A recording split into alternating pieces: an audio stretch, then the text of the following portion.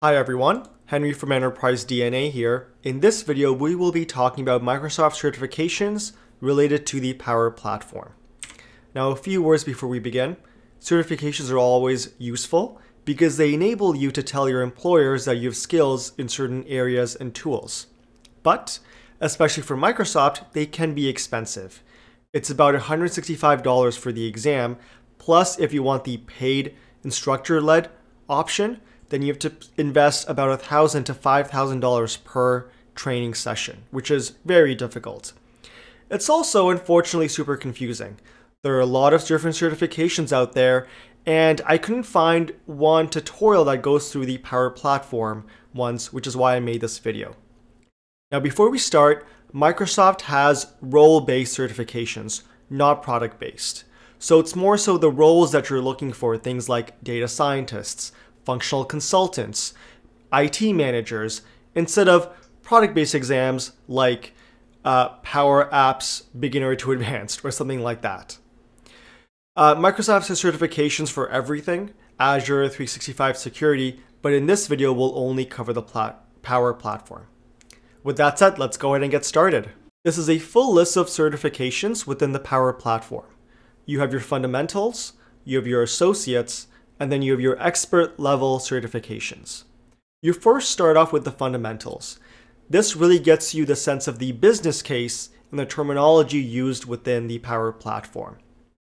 It's very useful for managers who don't necessarily develop in Power Apps, Power Automate, or Power BI, but instead have teams that do. And because of that, they want to make sure they use the right terminology and need to know what they can do and can't do with the Power Platform. We then move to the middle section, which is the associate level certifications. These are certifications that are for users who actually develop within the Power Platform. And there's different roles here as well. There's App Maker, which is a very basic way to basically understand how apps are developed and how workflows are developed. You then have a functional consultant where you basically apply your app and your workflow and your Power BI reports towards a use case, towards a project, for example.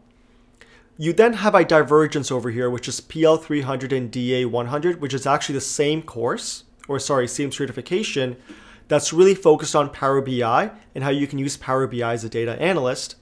And finally, you have PL400, which is the highest level associate certifications for the Power Platform, where you really develop full solutions with the Power Platform. So solutions that combine Power Apps, Power Automate, Dataverse, virtual agents, and Power BI together in one cohesive solution. We then move on to the expert level certifications.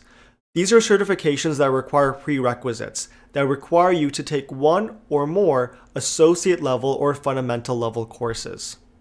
This is if you want to become an expert in the field and an evangelist, uh, and also want to be recognized for your Power Platform expertise.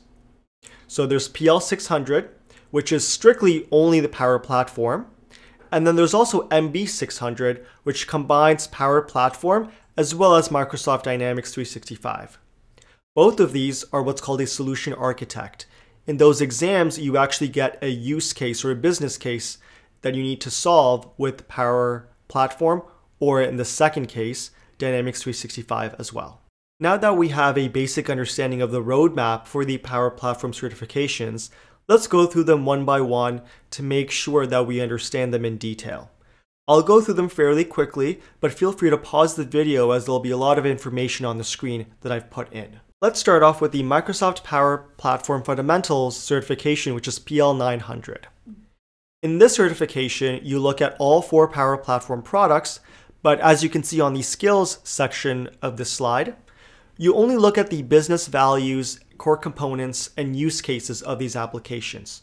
So you're not really designing any applications, any workflows, any reports, but instead you're defining the advantages, disadvantages, what they can do and what they can't do for a basic understanding of the Power Platform. We then move on to PL100, which is the Microsoft Power Platform App Maker.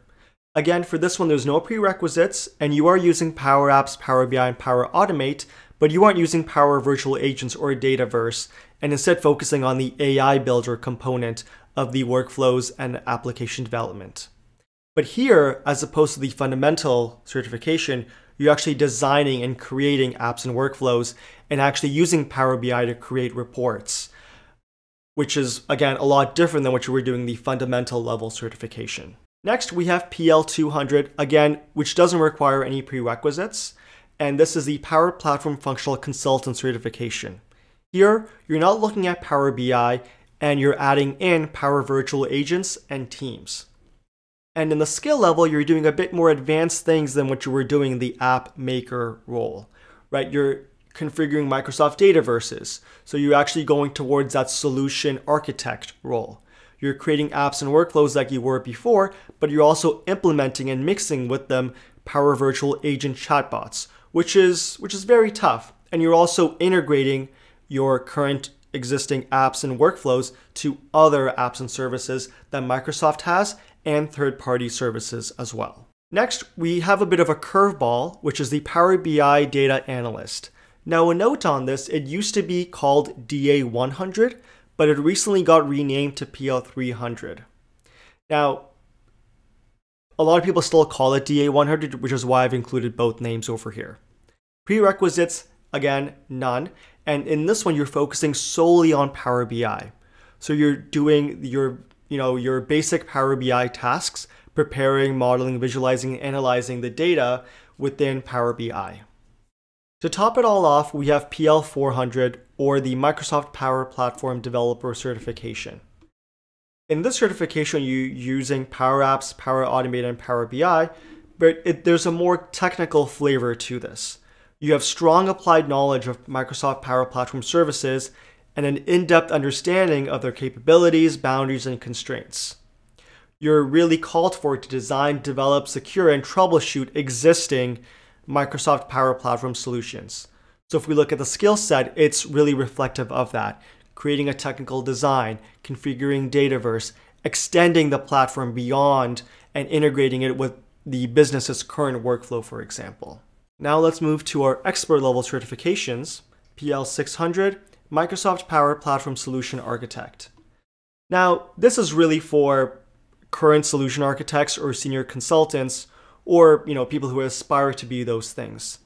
In this one, you're really responsible for leading successful implementations and focusing on how solutions address the broader business and technical needs of the organization. So the skill set level here is very general. You're basically looking at a business problem and determining what they need to solve for, and then architecting and implementing that solution using the products that are given to you. Power Apps, Power Automate, Power Virtual Agents, and Power BI, but also now Microsoft Azure. For example, you might be quizzed on how to use Microsoft Azure Storage Account or Blob Storage for their solution, how to use things like Azure Functions, for example, with Power Automate as well. So this is really taking all that you've learned in whatever associate level certification you have and extending it to the full solution architect uh, workflow. Here you do have a prerequisite, so this is the first course we've seen now with a prerequisite. So you need either PL 200 or PL 400. So you need either the functional consultant level associate certification or the developer uh, associate level certification. Recall PL300 is only for Power BI, that's why it's not a prerequisite here. Finally, we have MB600, which is another expert level certification, very similar to Power Platform Solution Architect, but it also adds Dynamics 365 as well to the mix. So in this one, you need PL200 or 400 like what we saw before, but you also need a Dynamics 365 functional consultant exam as well. Dynamics 365 is a whole host of other products, and what Microsoft wanted to do is to create a certification that really showed both Dynamics 365 skills and Power Platform skills into one. So the products you see over here are the same products you had seen before because you have Power Platform and Microsoft Azure, but now you also have Dynamics 365 that you need to worry about as well. But the skill set is the same. You're basically performing solution envisioning, looking at the requirements, uh, creating a solution, and then implementing that solution for your business needs. Now, that is the full list of Power Platform certifications. One thing I do want to note is that the only ones that require prerequisites, again, are the expert level certifications. So, how you would really envision yourself going through this is determining A, what level of knowledge do you want to know about the Power Platform? Do you want a very basic understanding of what it can do and what it can't do?